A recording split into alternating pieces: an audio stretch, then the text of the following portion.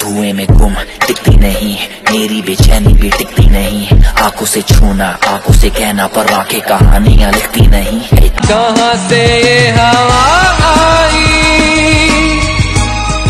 घटाए खाली क्यों था